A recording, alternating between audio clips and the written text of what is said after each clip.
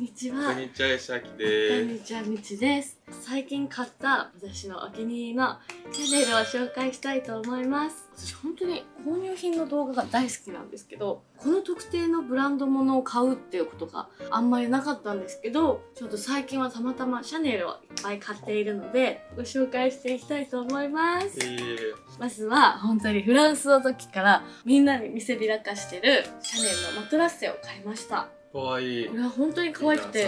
もう私本当に3年以上前からもうずっと欲しい欲しいって言っててもうどんどん値段もね舐めさせないでくれるどんぐりにくれる？かわいいどんぐりにくれるどんぐり欲しいって。どんぐり欲しいもらうね、ありがとう。女の子だからねじゃあちょうどいいの？なんかね、女あの、うんち袋とかお水とかちょうどいいの、これぐらいの散歩。ありがとう、ありがとう。わけわかんないつ、次行って。違う行かないのちょっと紹介させて私本当にこれがもうずっとちょうだい。意地悪。なんかフランス行く機会があったらフランスでせっかくだからフランスのものだからフランスで買おうと思っていたらコロナになっちゃったじゃないですかその間に本当に値段が上がっちゃって確かに。多分私が欲しいって思った時80万とかだったんですけど今100万ぐらいしちゃう。本当に。だから本当物は日割りですからね。わかる。タイミング逃しちゃダメだようんね。物は日割りだから欲しいって思ったものは今すぐ買うべき。結局私も20万下手したら30万プラスぐらいで買ったし本当に私のカバンにしてはでもすごいいっぱい入ります。これは全然最近買ったわけじゃないんですけどお財布はシャネルを使ってます。可愛い。この水色もなんか本当に私カードケースを使ってるんですけどすごい可愛くて私は商品紹介してあんましないでくれる？これは本当になんかカードケースばっかり使うんですけどあんまり正直ちゃんと使ってはないんですけどもう可愛くてこれは使ってます。だから入るカバンの時はこれを。色変わる。そうなの。ちょうだい。で怖いこっち。違うの。もうこういうシャネルを紹介する動画を見るのが好きでわ、かる。見て、すごい憧れちゃって、うん三2、3年前に一回シャネルバッグ買ったの僕。ね自分のために買ったんだけど、いざあんま使わなくて未知にあげたの。え持つべきものは可愛い弟ですよねだから今日これとか ね、やめ今日これとかちょうどいい。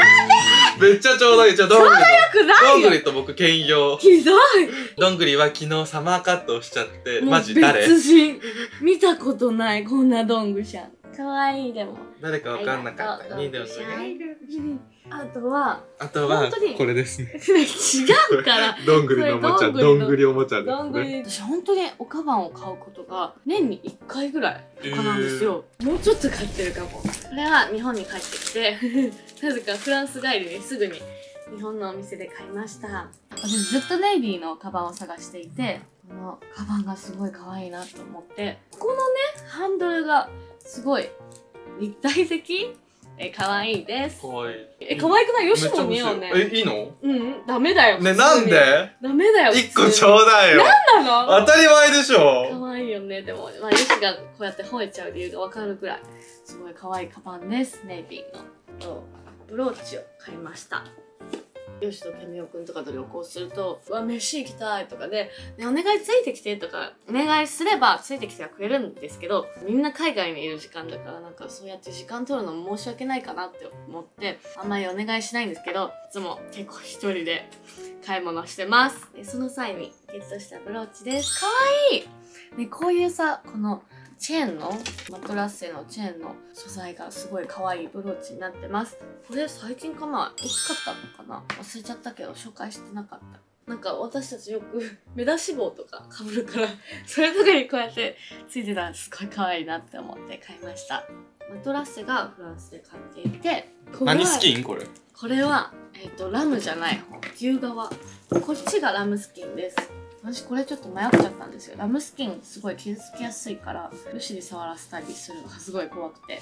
私はね、大型犬よしあきがいるので、迷ったんですけど、可愛くて買いました。あともうこっからは本当に可愛くて全然予定なかったんですけど、すごい可愛い。ピアスを2つ買いました。全部なんかミイラみたいな状態で出てくる。誰かがシャネルはその在庫とかが絶対あるわけじゃないからもう巡り合わせだって言っていて、それをちょっと信じて買いました。一つ目は、こちらのピアスです。かわいいこういうハートのピアスはすぐ売り切れちゃうみたいで。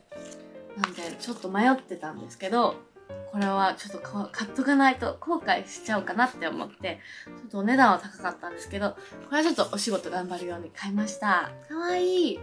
水色のハートを持ってるんですけどゴールドのこういう丸いフープとかまあ、つけてなかったゴールドの丸いフープとかつけることが多くて出番はないんですけど本当になんだろう鑑賞用で買っちゃいました。キラキラしててすごい女の子の夢が詰まったようなピアスです。今でも買ったのは確かに正解かなみたいなその実用的な面で考えると。でもちょっとお仕事頑張るように購入しました。